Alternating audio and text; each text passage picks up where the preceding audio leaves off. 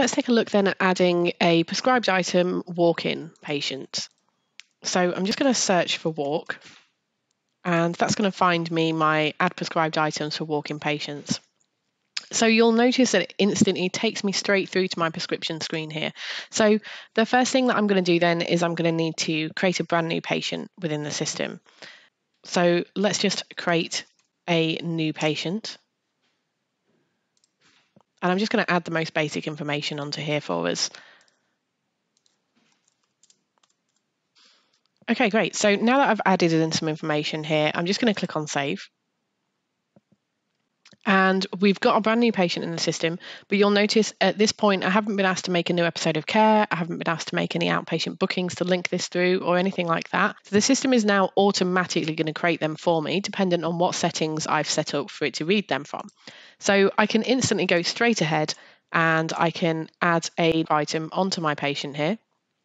Um, I can still do it, everything else exactly the same. So I can set my quantities, I can set the date that it's to be dispensed.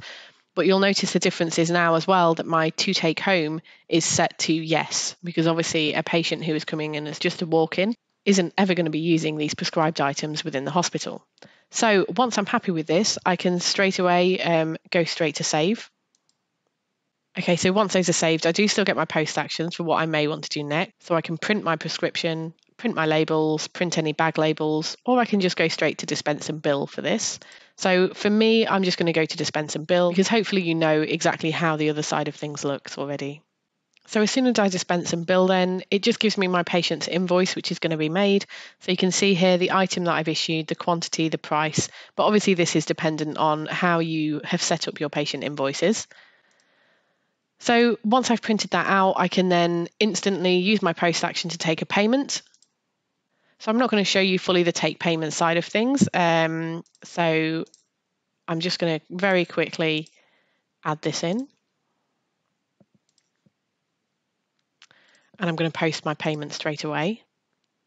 And once I've done this, then that's completed. So there's nothing else further to do. But let's take a quick look at my patient. So I'm just going to go into the patient area and I'm going to open up this patient right now. And you'll notice that they do have a episode of care within here. So I can see right now that there's an episode of care that's been made for today. I've got a specialty against it for me of general medicine, but that's completely up to you how you define this. Um, if we take a look now as well at my outpatient bookings, and CompuCare has also automatically created me an outpatient booking. It's in a specific room which I defined on here. So I defined that my outpatient bookings for pharmacy walk ins are going to be going into the pharmacy consultation room. And you can see that the whole process has been completed. So it's now at a fully billed state for this booking.